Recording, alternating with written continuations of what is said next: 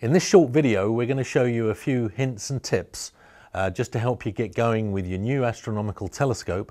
Mostly it's things that we've learned over the years that even though it's covered in the instructions, uh, they're the kind of things that people have called into our technical support desk about. So we thought it would be a good idea to give you a quick look at those and help you get going with your new telescope as soon as possible. Okay, let's start from the ground up. It's important to make sure that your telescope has got a firm tripod or base underneath it. Sometimes the tripod of the telescope that you may have bought has actually got a pre-assembled tripod and you may think there's nothing else you need to do to it. You really need to make sure that in particular the, uh, the bolts holding the legs onto the head at the top of the tripod here are firm and that there's no play um, like is being shown on this tripod here. This really is too loose, this needs tightening up. You'll notice on this one we've got screws with a nut on it. On the model we've got over here we've actually got thumb knobs. Uh, but you still need to hold this side of the, um, uh, the fastening with a screwdriver. Just make sure that's absolutely tight and, uh, and robust and, and, and tightened to a good firm feel. Now you're probably going to think I'm having a laugh with this next one. Um, make sure that the telescope is fully uncapped. I don't know whether you can see clearly on all of these three uh, telescopes here, they've actually got two caps on them. And it's not unheard of for our technical support desk to be hearing from people who have only removed one part of the cap. Can you see that you can actually just take off the central part of these caps on all three of these telescopes?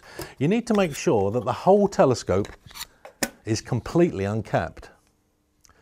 Probably the next most common uh, difficulty people have with a new telescope is actually finding targets in the night sky.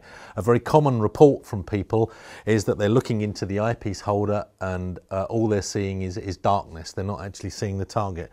Now almost certainly this is because the finder on the telescope hasn't been co-aligned with the main instrument itself. Now it doesn't matter whether you've got an electronic red dot finder like uh, fitted to this telescope or the traditional kind of optical finder, it still needs to be collimated with the main telescope. Let's just demonstrate this idea of uh, calibrating the finder to the main instrument using this little baby Newtonian. It's a fairly simple idea to understand. Before you take the telescope out under the night sky, we'd recommend doing this during the day. Do it in daylight so you can see what you're actually doing. Now what you're going to do is you're going to line this little telescope up here with the main instrument.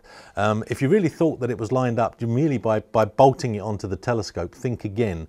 These little fine screws that you see on the outside of the finder here, they're used to actually adjust the finder and make sure that it's co-aligned with the main instrument. Very basic procedure for doing this. Use a low power eyepiece. That'll typically be the one with the biggest number on it. It's going to say something like 20 or 25 millimeters on the eyepiece. Insert that into the eyepiece holder. Focus up on a target that's on the horizon, maybe quarter of a mile away at least, something like that. Um, typically select a target that you couldn't possibly mistake. So it doesn't want to be a fence post or maybe a pylon or a, a, telegraph pole. There are too many of them possibly and you might easily mistake it for a different one and that's going to put the thing out of kilter. So pick something like the roof of a house, uh, a window or a door, an aerial on a roof, something that you can't possibly mistake. The basic idea is Get that target centered in the main telescope tube with a low power eyepiece and then adjusting these screws, get the crosshair of your finder or the dot in your red dot finder co-aligned with exactly the same target. Once you've got it set up, check it again, do a little test, put a new target on the finder, so point it to something else that you see somewhere and make sure that same target is in the center of the field of view of the main eyepiece. You're then ready to take the telescope out underneath the, on, underneath the night sky and actually see something. That's it for this video.